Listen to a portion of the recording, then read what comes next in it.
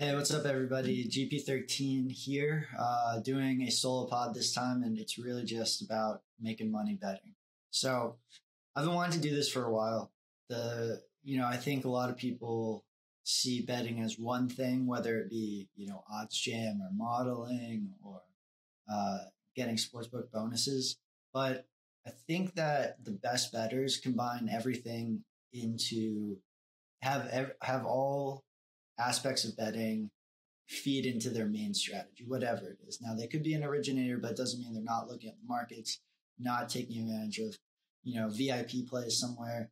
And, you know, you you have to be flexible because you're gonna have to evolve in a market that's constantly evolving. But what you what I want to teach today is how the five what I see as the five main income streams of a modern sports better and how you should be utilizing each one, which one should you start with, and how do you build upon those skills to have a complete sports betting strategy. So let's, and also if you're listening to this on uh, the podcast, I'm doing this on YouTube with some visuals. So if you ever have a time to switch over to the YouTube channel, uh, this would be a good time. So yeah, let's go. Let's get going. So this is kind of so this is actually in the same format. We'll do like a GP Academy live class. So if you like what you're seeing here, this is kind of like a watered down version of what we have uh, at GP Academy. So please sign up or give give us a try. Uh, feel free to DM me and you know ask questions you have about the academy. But it's been a great experience so far. We're doing a ton of stuff on originating, which I think is unique to us, like in depth live walkthroughs of me building sports betting models. Uh, you know, yeah, give us a try. If it's if you're serious about betting, it's really worth it. Okay. Income stream one is bonuses. Now, you hear me, if you've been a listener of this podcast for a while, you've heard me talk about um, about bonuses and especially how they fit into what I believe like winning sports betting is a choice. I really believe this, and it's because of bonuses. Bonuses um, are absolute zero skill way to win sports betting. So you have sports books that give you an 100% deposit match.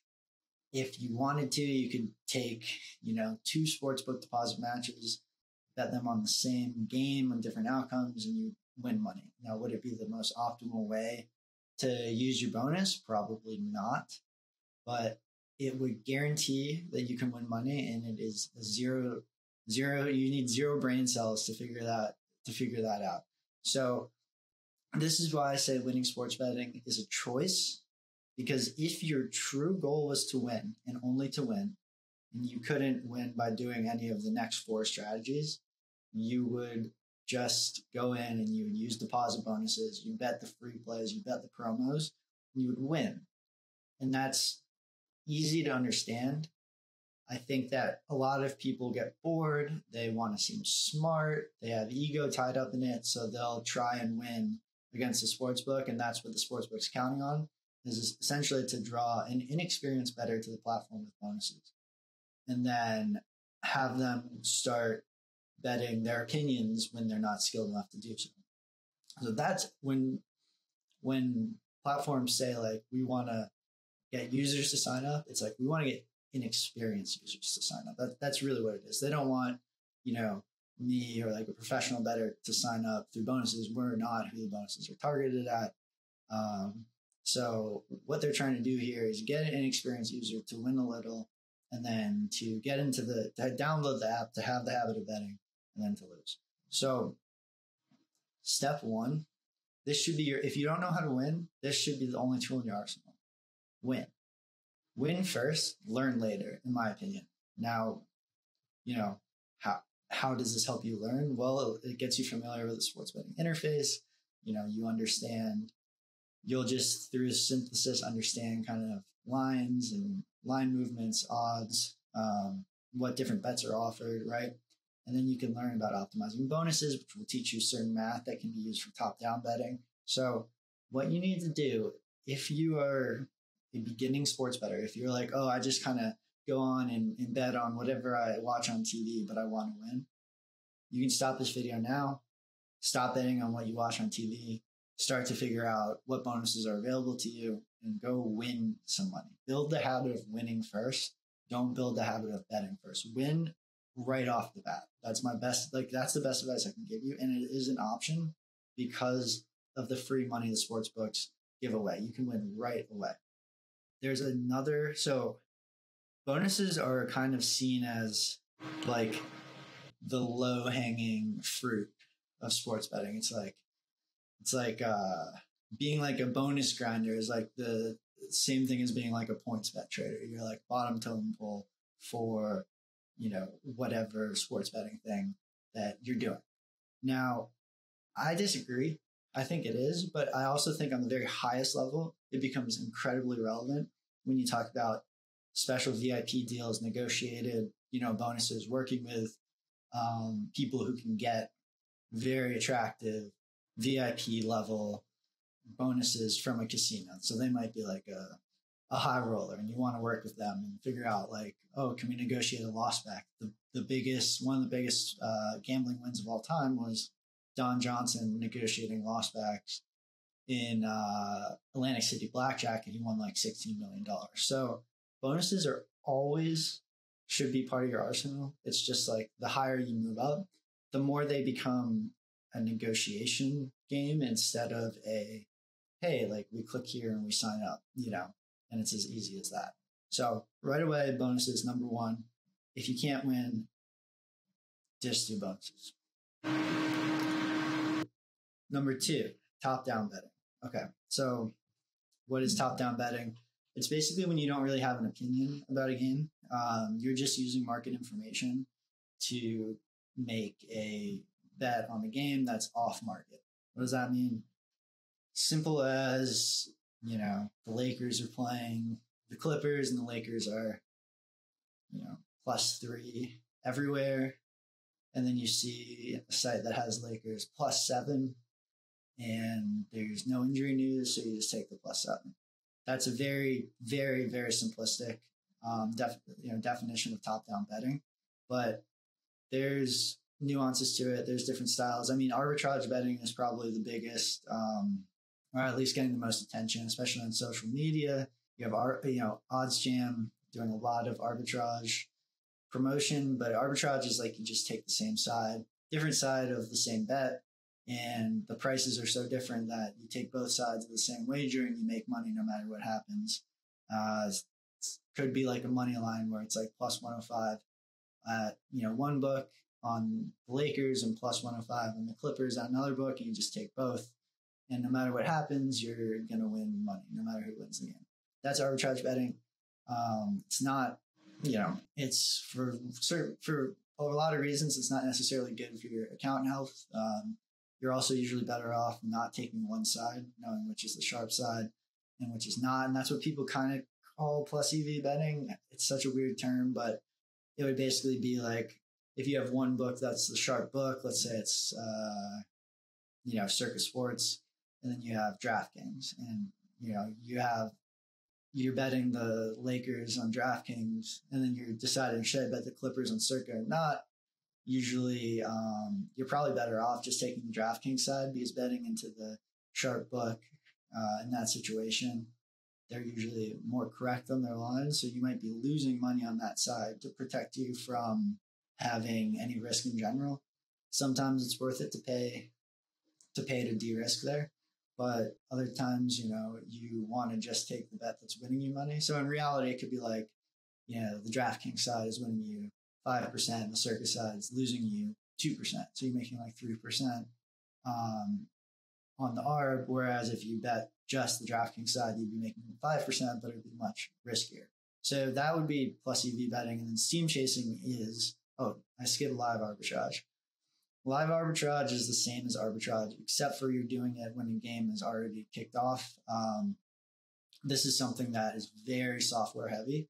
Uh, I know you have odds pools, OddsJam, probably a bunch of others that do this, but during the live market, it seems that things cross into arbitrage more frequently just because there's not as much um, betting to keep it in check. And like a lot of times you have there a lot of the pricing is dependent on on game state information and certain books might not update as quickly and they have different live models and whatever. So there's a lot of arbitrage opportunities that come up live. Uh, I know people have had some success, but again, just with kind of all of these, it's not great for your account health at recreational books, but it makes you money. And if you don't have a bankroll yet, then this is a great way to build a bankroll. And if somebody says like, "Oh, you're doing, you know, you're doing the lowbrow like betting," like they can go fuck themselves. Like you go make money. Who cares? And then steam chasing is going to be the fourth one, which is basically let's say that Lakers Clippers, you see Lakers plus three everywhere, and then you see it move to plus two at some sharp books, and you see a plus three still left on DraftKings or BetRivers, you would just go bet the plus three because you're assuming that the line moved from plus three to plus two because someone smart came and bet plus three at the sharp book. Those are the key top down betting buckets. And then they have sub buckets basically, which is like derivatives where you have like a full game line that's not properly, or you have a quarter line or a half line that's not um, properly derived from the full game line. Like a full game line can move, but the half, you know, the half line or the quarter line doesn't move. And that's like steam chasing or some type of derivative pricing that that you can you know if you understand how much a point is worth or how much a run is worth in baseball or whatever it is you can start doing some derivative pricing. I would say that kind of starts to be bottom up but again this is what i'm saying like you don't just do one thing do multiple things. Mm-hmm. Right. And speaking of bottom up bottom mm-hmm. up don't know why we have picture of Cam Smith here because he's like one of the golfers I bet against the most. But I guess that's bottom up, right? That's why I bet against Cam Smith.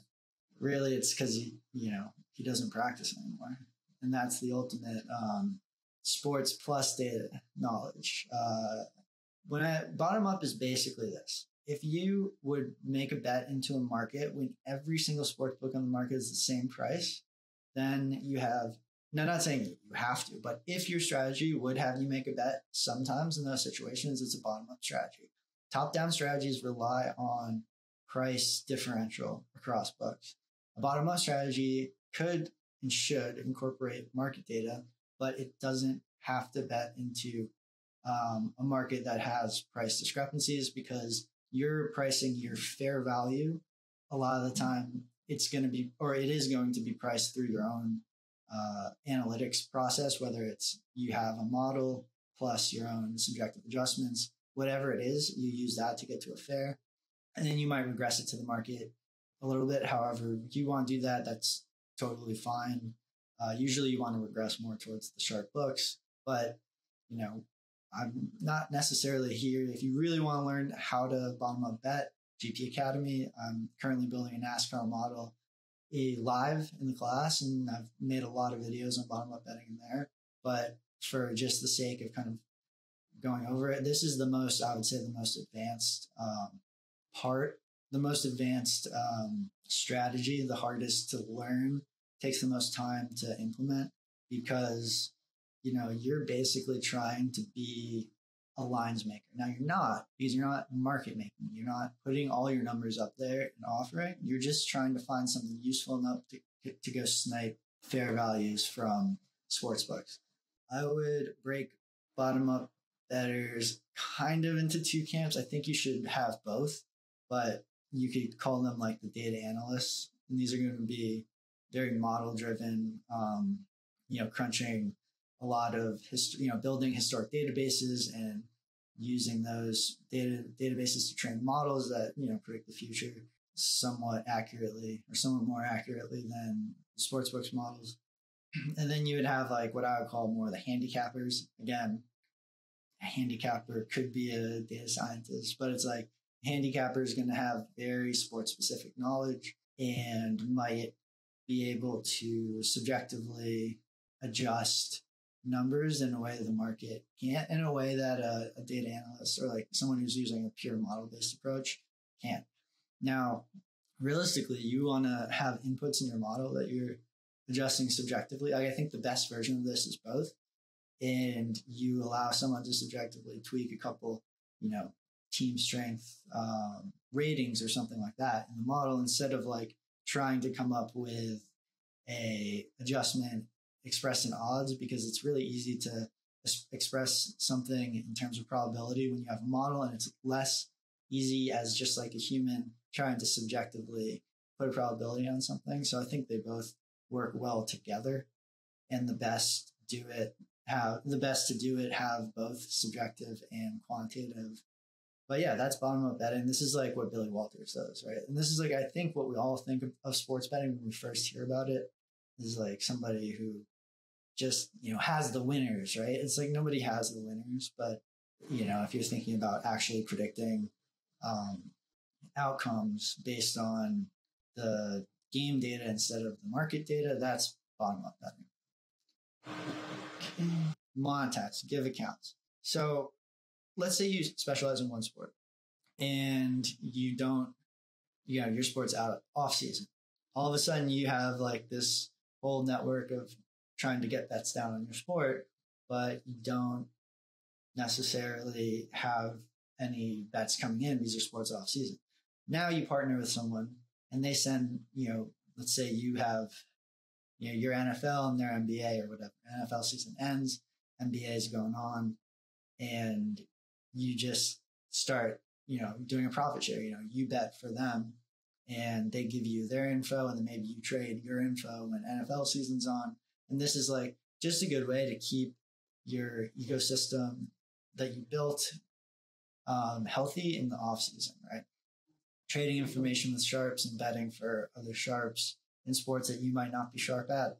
This is why I think specialization also is really helpful because if you're good at one sport, if you get really good at one sport, you can trade info with other people and other sports. But if you're mediocre at like, you're like okay at four sports, no one's going to really hear too much about your info.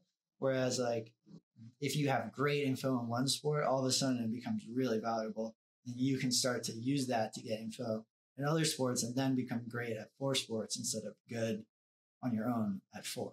So yeah, this is just basically, um, you know, if you're on an off season, partner up with somebody and get some bets from them. Don't let that account sit vacant. Soft PvP. This is the fifth and this is um this is kind of a unique one because I've really kind of gotten more into this this year. But I'll tell you a story about a friend of mine who he I, I know that like he's a great better and he can get into so many soft March Madness pools, Calcuttas. He gets heads up season long fantasy contests against like these massive whales millions and millions of dollars put into action in the softest like March Madness pools and, and this stuff around. And your ROI in these, it's like absolutely massive. Now, this takes hustle and a lot of legwork, but you know, if you can get into some of these recreational pools that are high stakes, they become really, really valuable. As of right now, we've gotten through this through my friend, you know, kind of partnered up with him to get into some uh, golf pools, and that's been I think here it is like I think we're up about like a hundred thousand in those, and it's not too like we built a Calcutta model and it wasn't like that complicated. I actually have the Calcutta model in GP Academy. Shout out.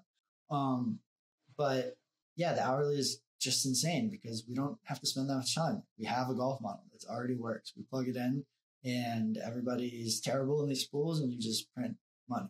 Um, but this is the most networking heavy.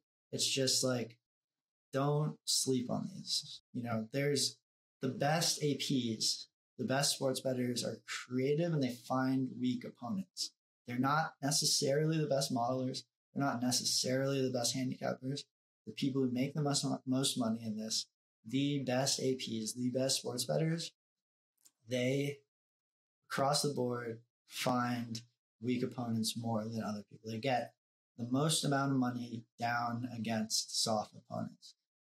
Who you're betting against matters more than who you are as a bettor.